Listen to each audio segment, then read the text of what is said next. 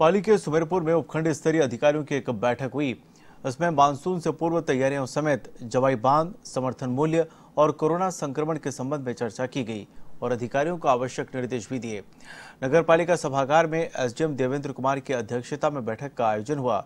उन्होंने कृषि मंडी सचिव से जिन्स की खरीद बिक्री और समर्थन मूल्य पर खरीद संबंधी जानकारी लेकर किसानों की समस्याओं का मौके पर ही समाधान करने के निर्देश दिए। साथ ही कृषि विभाग से टिड्डी रोकथाम के लिए की जा रही तैयारियों की जानकारी ली। एसडीएम ने चिकित्सा विभाग के अधिकारियों को भी आवश्यक निर्देश दिए। तो पालिका ईओ योगेश आचार्य ने बताया कि संभावित बाढ़ की स्थिति में नगर पालिका के पास आवश्यक संसाधन उपलब्ध है। बैठक में पुलिस उप अधीक्षक भोमाराम, तहसीलदार जवाहराम चौधरी और विकास अधिकारी नारायण सिंह राजपुरोहित सहित विभिन्न विभागों के अधिकारी मौजूद रहे।